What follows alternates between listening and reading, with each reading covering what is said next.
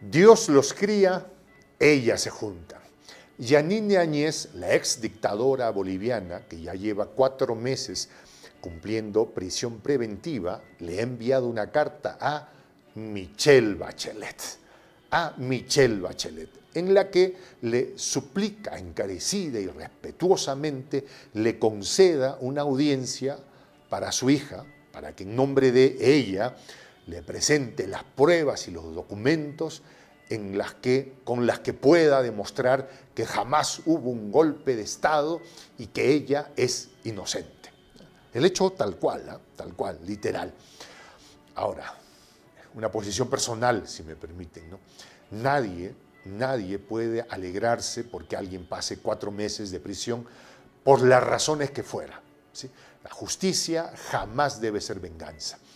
Y qué triste que una mujer como la señora Añez tenga que pasar cuatro meses en prisión y parece que le faltan muchos, mucho tiempo más por delante. Eso no debe alegrarle a nadie.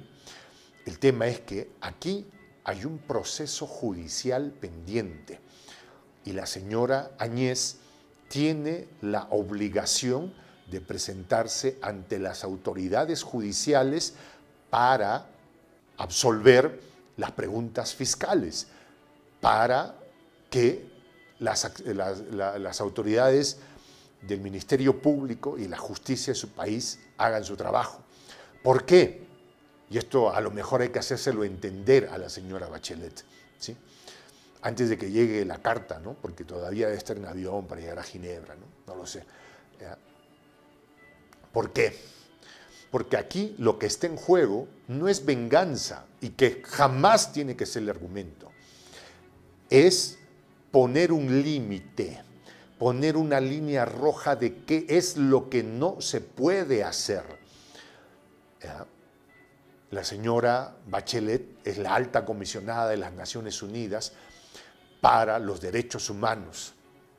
Que hubiera estado bueno, que hubiera estado bueno pusiera mucho más interés en el tema boliviano. Hubiera estado bueno. Como no lo hizo tampoco en el tema de Cali, en el tema de Colombia.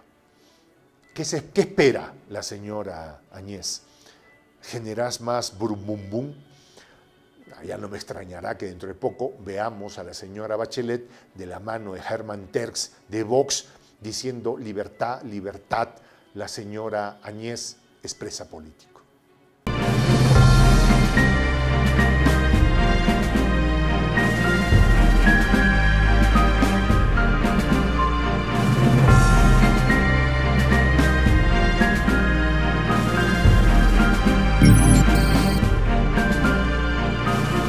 De la Patria Grande.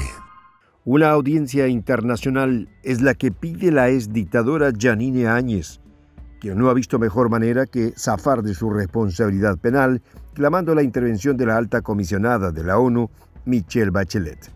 Áñez ha usado la red social Twitter para enviar una carta en la que manifiesta el interés que su hija Carolina Rivera Áñez mantenga una audiencia con la exmandataria chilena para demostrarle su inocencia. Durante estos cuatro meses privada de su libertad por razones que todos conocemos, Áñez no ha cambiado su versión y sigue manifestando que nunca hubo un golpe de Estado en Bolivia y se considera gobernante constitucional. Me encuentro privada de mi libertad por una decisión política del actual presidente Luis Arce, reza la carta enviada por la golpista. Además aduce que durante el tiempo detenida no se ha podido probar de manera fehaciente que haya participado de una dictadura, ya que según su propia óptica entró de manera legítima a ocupar el cargo máximo boliviano. Yo no he cometido ningún delito ni antes ni después de la toma de poder. Debo ser liberada, exigió Áñez en su misiva, quien curiosamente busca el apoyo de otra neoliberal como la comisionada chilena para evitar la sentencia en su contra.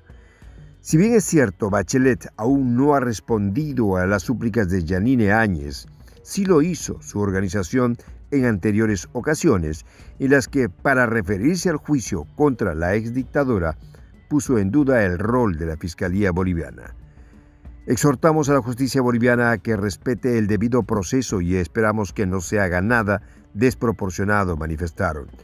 Respecto a este tema, el presidente de la Cámara de Diputados, Freddy Mamani, restó importancia a la solicitud a modo de clemencia dada por Áñez y además manifestó que en ningún momento se han vulnerado sus derechos humanos. Janine tiene todo el derecho y toda la libertad de enviar cartas donde quiera, pero nosotros hemos actuado respetando a la persona por encima del proceso, manifestó. Además, hizo hincapié que ninguna organización reguladora ha encontrado irregularidades ni vejación a los derechos en los procesos penales contra Áñez, por lo que se considera un juicio justo. La ex golpista recurre a su última carta para evitar seguir en prisión preventiva y recurre a viejos conocidos neoliberales para que la apoyen en su absurda creencia que en el 2019 no participó de un golpe de Estado contra Morales. La justicia es justicia y tiene que estar alejada del tema de la venganza. Si usted eh, le mueve otro elemento que no es la búsqueda de la justicia, pues bueno, una buena opción es ir a terapia, por ejemplo. Pero no podemos hacer de los tribunales espacios de satisfacción, de frustraciones, ni de expresiones de, rencor. No, no es el camino. En el caso de la señora Yanina Añez, ella tiene que responder frente a los jueces por delitos imputados por la Fiscalía. ¿sí? Ese es el punto. La señora Michelle Bachelet bien podría recurrir a sus labores para viajar hasta La Paz y verificar si es que la señora se encuentra bien dentro de la prisión donde está y ver si es que algunos de sus derechos están siendo vulnerados, nada más. Ahora, el tema es que la señora Añez no solo tiene uno de estos casos, el golpe de Estado, tiene varios, o sea, se me ocurren tres para comenzar.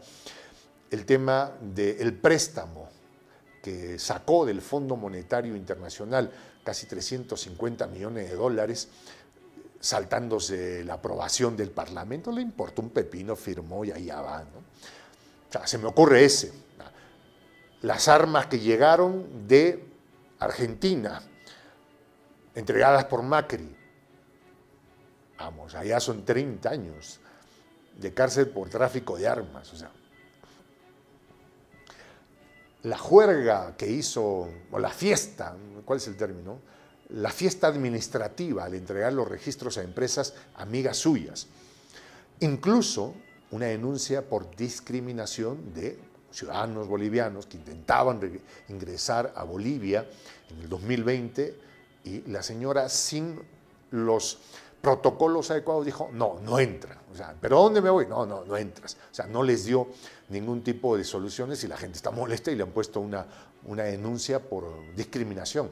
O sea, tienes varias cosas por las que responder. Ahora, pidió que la mandaran a su casa la sala penal de, de, La Paz ha dicho, no, no, no, dos meses más. La cosa la tiene complicada la señora Áñez. Alegando problemas de salud, Janine Áñez ha pretendido llevar el proceso en su contra en la modalidad de arresto domiciliario, un petitorio que ha sido rechazado. Es indolente e inhumano tenerme en prisión. Mi vida corre peligro ya que sigue latente la posibilidad de que sufra un paro cardíaco, ha manifestado en la carta enviada a la ONU y específicamente a Michelle Bachelet. Áñez recurre a la intromisión internacional ya que la Sala Penal del Alto en Bolivia le negó dicha posibilidad, pues consideran que los presuntos delitos que habría cometido deberían investigarse con prisión preventiva efectiva. Además, ante el pedido de la Fiscalía, dichas investigaciones tendrán dos meses más tras las rejas a la ex golpista con la posibilidad de extenderse, ya que las acusaciones en su contra no paran de incrementar. Ante lo ya mencionado, se suma el endeudamiento ante el Fondo Monetario Internacional por 327 millones de dólares, la adjudicación irregular de empresas y actos de discriminación que fueron interpuestos por propios bolivianos a quienes se les negó el ingreso a su país en plena pandemia. Áñez, por su parte, ha iniciado su propia campaña a través de Twitter, proponiendo el hashtag liberen a Yanine, una herramienta tan risible como la del SOS Cuba, que busca sin éxito crear una presión mediática que logre arrinconar a los órganos del Estado para su eventual liberación. Soy el J, Juan José del Castillo, director del canal Prensa Alternativa. Si quieres ser parte de la comunidad de la Patria Grande, suscríbete a nuestro canal. Si es que quieres que te lleguen las notificaciones cada vez que subimos un video, activa la campanita. Si quieres apoyar a nuestro canal económicamente, puedes hacerlo a través de PayPal. El enlace está en la descripción del video. A nombre del equipo de prensa alternativa, me despido con esta expresión en el quechua milenario. Tupananchis Kama, cuya traducción es hasta volvernos a encontrar.